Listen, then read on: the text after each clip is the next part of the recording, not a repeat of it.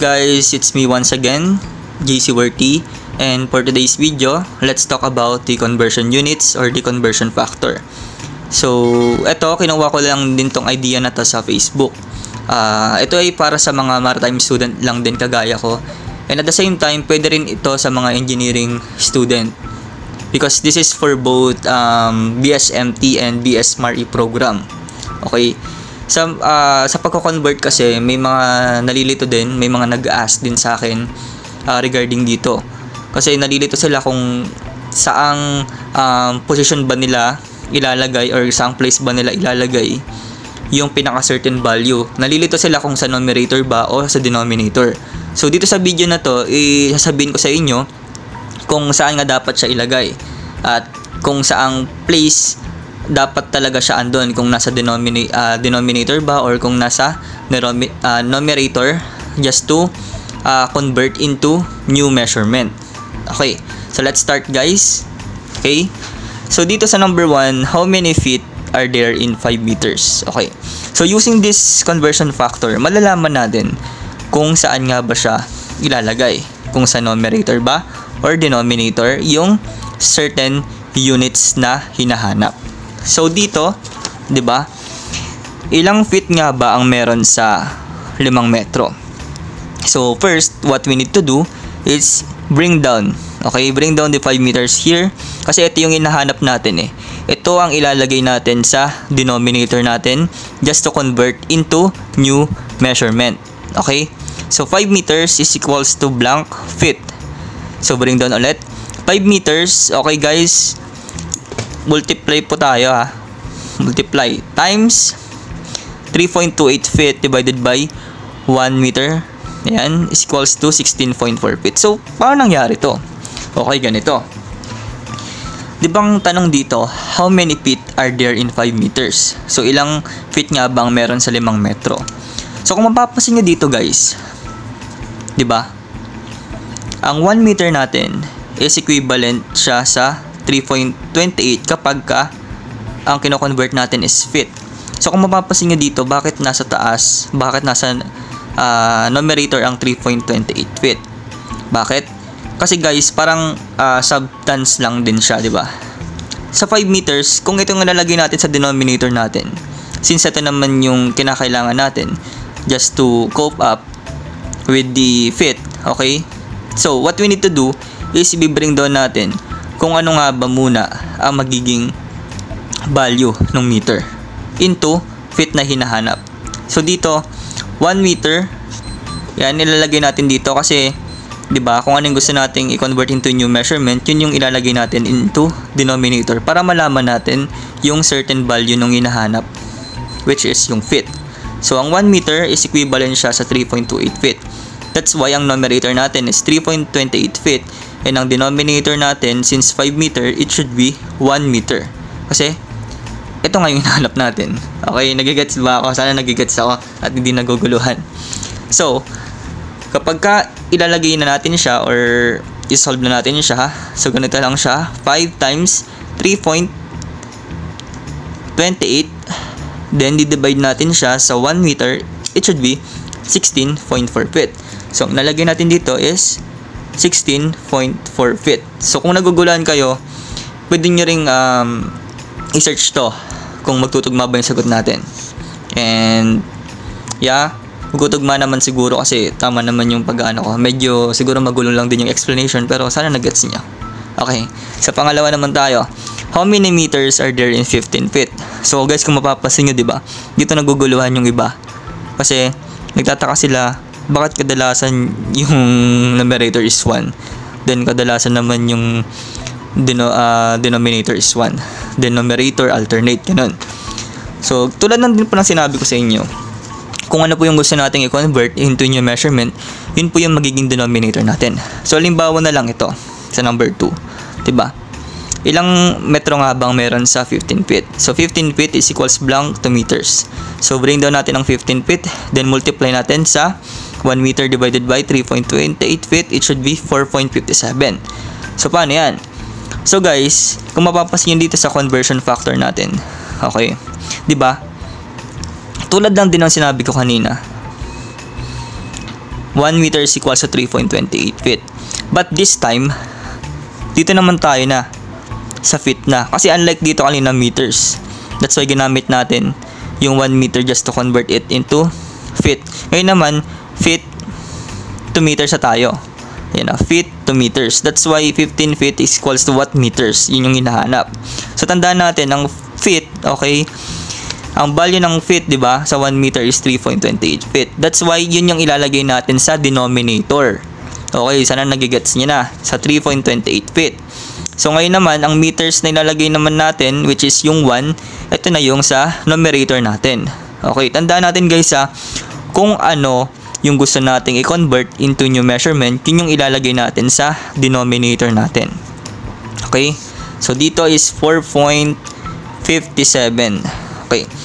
So isip tayo ng ano ng isang question sa number 3. Habaan natin ng konti. So ito naman, uh, babasa tayo sa conversion factor. So how about um, lista ko muna. How many inches Wow, inches are there in 75 centimeters. Ayan, may idea na agad. Nalaman na agad kung ano nga ba yung ilalagay sa denominator. Okay, so let's bring down 75 centimeters is equals to blank how many inches. Ayan. Inches yung hinahanap natin. Then, bring down ulit. Tulad lang yung ginawa natin sa 1 and 2. So, 75 centimeter times. Okay. So dito guys, 'di ba, centimeters na hinahanap natin. So kailangan natin malaman ang value ng centimeter. Okay. So paano natin malalaman yung value niyan? Magbe-base po ulit tayo sa tinatawag nating conversion factor or conversion units. Okay. So ang 1 inch pala natin kapag so ang 1 inch pala natin, 'di ba? Sa centimeter is 2.54. So, ang tanong dito, how many inches are there in 75 centimeters? So, since ang kinakailangan natin at gusto natin malaman na para ma-convert natin sa in, uh, bagong uh, measurement, so yung centimeter. So, ano nga ba yung value ng centimeter kapag ka may kasamang inch? So, yung 1 inch natin is 2.54. That's why ang denominator po natin is 2.54 centimeter. Then, yung 1 inch natin remaining as 1 inch as our numerator. Okay, so let's solve it. So 75 times 1, divide natin sa 2.54. It should be 29.527. So round off natin, 29.53 inches. 29.53 um, yan, inches. Okay, so sana nagigets. So, 29.53 inches. So, number 4 naman tayo, for example. Um, ito naman, how many centimeters, ano bang pwedeng gamitin dito? How many centimeters are there in, um, let's say, inches. Ayan. So, how many, shortcut ka na lang, centimeters are there in 100 inches. Maba siguro to, ano? Para sa ilan.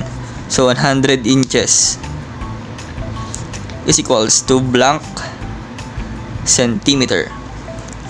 Okay, tulad lang din na sinabi ko kanina. Uh, bring down lang din natin to. 100 inches. Yan. So, denominator natin to. Then, ito yung numerator natin. So, 100 inches. So, ngayon, kailangan natin malaman yung inches kapag ka uh, manggagaling kay centimeter. Okay. So kung mapapasin natin dito guys. Ayan. 'Di ba ang 100 inch natin? Okay. Inches. Ang 1 inch natin is 2.54.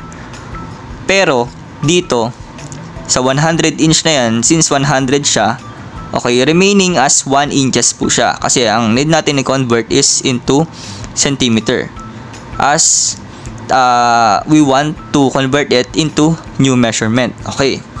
So, ilagay natin dito is 1 inch.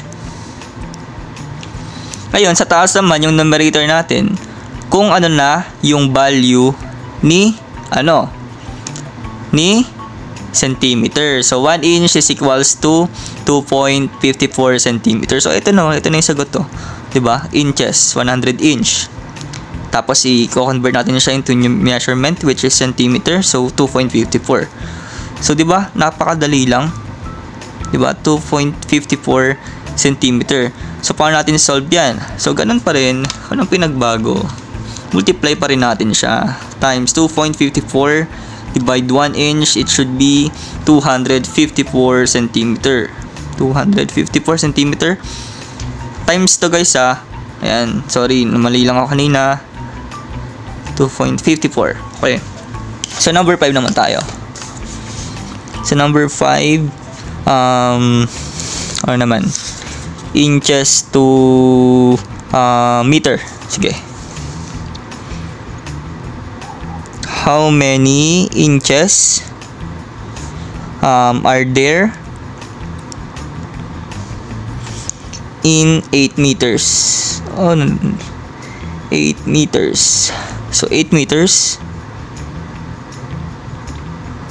yan and then equals blank inches okay so bring down ulit natin to 8 meters then multiply natin So, denominator natin, 8 meters. Okay?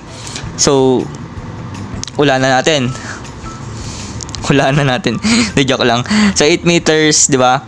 So, ang 8 meters natin, kapag ka-convert natin into inches, so 1 meter into inch is 39.37. So, what we need to do is write down the value of 8 meters, which is, ang uh, denominator natin is 1 meter. Then, ang magiging value natin as numerator to get the inches is that 39.37 inches. 1 meter is equal to 39.37 inches. Just like yung sa number 1 lang din kanina, di ba guys? Di ba 5 meters? So, ginamit natin ang denominator na 1 meter to get the equivalent value of feet. So, dito naman, gagamitin natin ng 8 meters to get the value of inches. So, 1 meter is equals to what? 39, ito, copy lang natin, 0.37 inches. So, let's multiply. 8 times 39.37 inches times 1. Ah, sorry, sorry. Divide 1 natin. Denominator pala. So, meron tayong 314.96 inch. At laki. 314.96 inch. So, 314.96 inches. Okay. So, number 6. 1, 2, so number 6 na tayo. So, let's say, um, uh, how many meters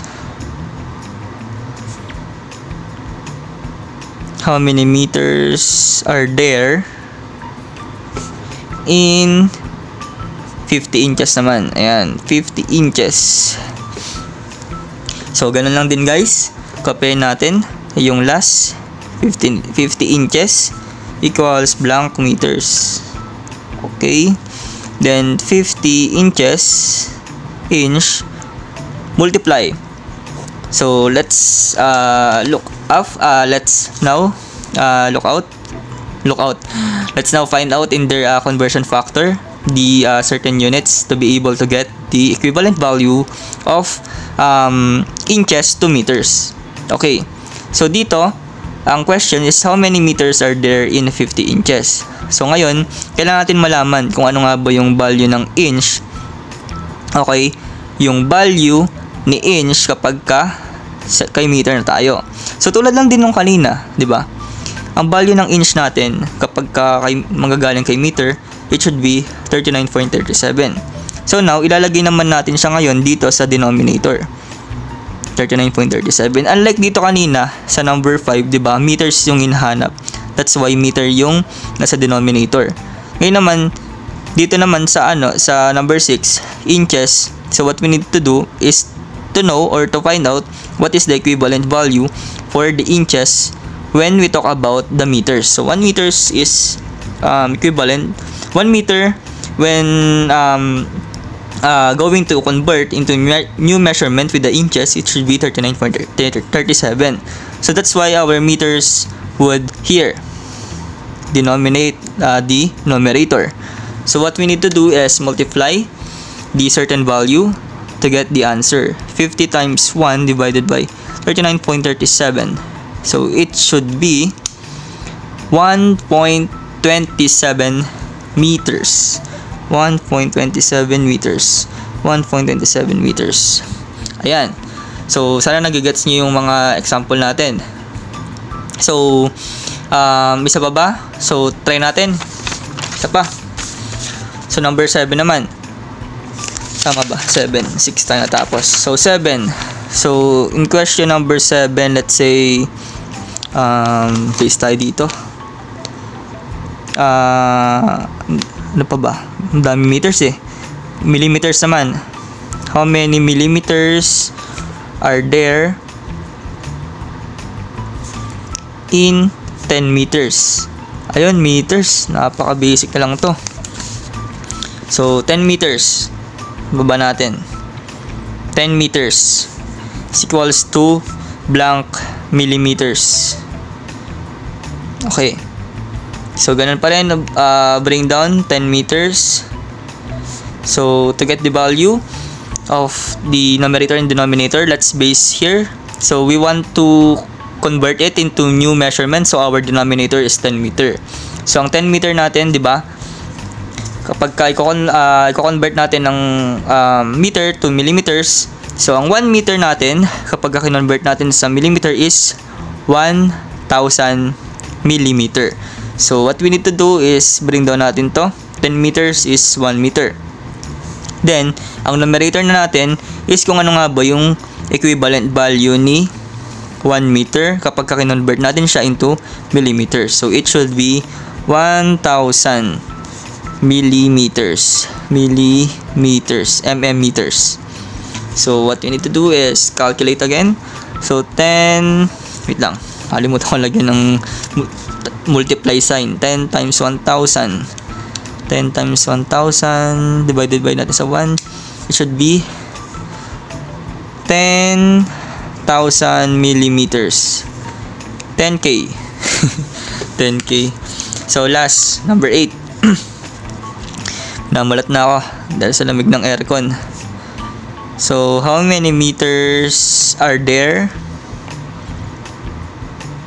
in uh, let's say 10 millimeters din. 10 millimeters naman.